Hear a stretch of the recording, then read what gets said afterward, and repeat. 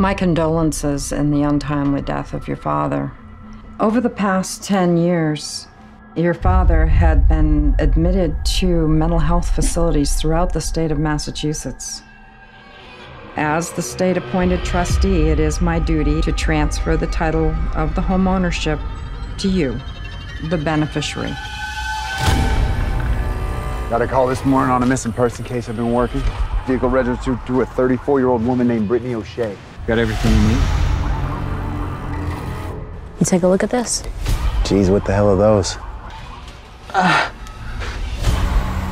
got a girl whose frozen body was found with strange symbols carved in her flesh. I found geographic coordinates in a journal of hers that led me here.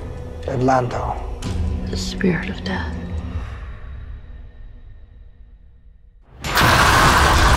Where were you Tuesday night? Am I in some kind of trouble here? She's been hanging with some pretty scary characters. They're afraid she's joined some sort of a cult.